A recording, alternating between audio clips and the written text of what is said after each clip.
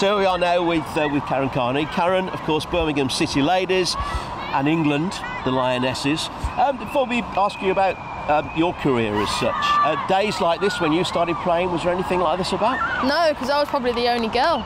Um, so it's it's fantastic to see how many girls here. I think the scheme this week was to try and get 5,000 girls to sign up to play football, and um, every, it's it's been smashed, and there's 16,000 that have signed up, which is amazing, and um, you know it's really good to see because I definitely didn't have that when I was growing up. Yeah, but when did when did you start your, your career? When did you start Um, playing? Was that obviously at school? Was it? Yeah, I started playing at schools like the only girl, and then went to after schools, similar to this, but kind of like um, in the summer holidays and the Christmas period when my mum didn't want me in the house.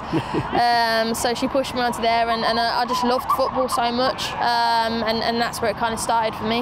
And when did Birmingham City find you? Um, when I was 11, I went to, like, again, it was probably um, a local girls team was put together by a woman called Rachel Pavlou, who's now pretty high up in the FA. Yeah. Um, a Villa fan who tried to get me to sign for Villa, and I wasn't having any of it. Um, and so I picked Blues because I was a Blues fan. So at 11, I went and signed for Birmingham. So it was a no-brainer for me. And, and for you now, the, the club that you support and, and you love, Yeah. and, and that moment when you, you had your 100 caps for England, you were inaugurated into the Hall of Fame at Blues. What was that like? Uh, it was amazing. I think um, I think it really hit home when I got put in the Hall of Fame, just because I was that that girl, that that um, fan that had my birthday's the first of August, and every first of August I'd have the new Blues kit.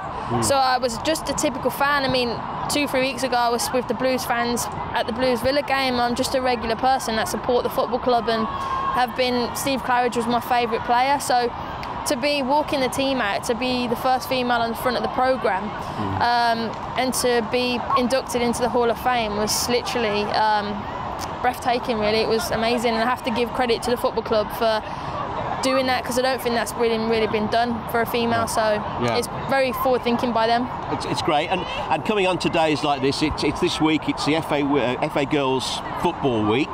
Yep. As you said earlier, sixteen thousand people across the country sign up. Um, what does what, what have you noticed ab- about the increase and, and uptake in girls being interested in football? Has, has it come up on since you had you guys in England had the success in the World Cup? Yeah, I think so. Obviously, we have a lot of pressure to be successful from the national team because we're kind of the face of it. And if we don't, we're not successful. Obviously, the media don't support us, and then people don't see the actual actual game. So we had a fantastic campaign at the World Cup, getting the bronze medal, and everyone really got behind us. The whole nation did, and we definitely inspired the nation. I feel, um, and now. Girls are just excited to play football. Our WSL attendances are 50% up. Um, like, to, like days like today, we've tripled the um, signing rate that we ex- expected. So um, the national team have definitely helped, and obviously the media have followed, and credit to them who've supported us as well. And of course, women's football more on TV now, with various channels showing a lot more. That always helps. And it's lovely today yourself for taking the time out, and Laura, of course, has, has come along with you. And to see some of these girls, you like great role models for them, aren't you? And they're queuing up for pictures and autographs and selfies with you. I know it's scary for them, isn't it? um, no, it's cool. I just was laughing at some of them playing because they remind me of me uh, when I was a young kid, and. Um, this is what football is all about. It's about like just coming with your mates, having a kick around, a, a minging wet English day and uh, cold and dreary and just having fun. Um, I think sometimes even I forget that why I got involved into football now because it's quite far fetched and the other end for um, business end for me now. But this is reminds me back of grassroots and I, I really like coming to these events and seeing the kids just happy and playing as that's what it's all about.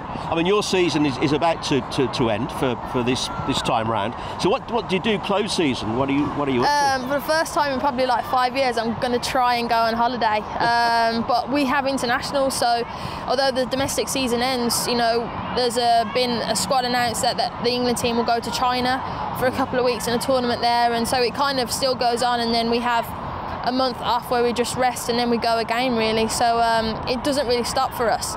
Um, but I'm going to make it um, you know I'm going to make it sure that I, I do go on holiday and do get a break because it's been a really taxing year but a fantastic year but um, on the back of the World Cup it's been quite draining for all of us but obviously it was it was well worth it Okay, brilliant. And, and your support for days like this is, is, is fant- fantastic.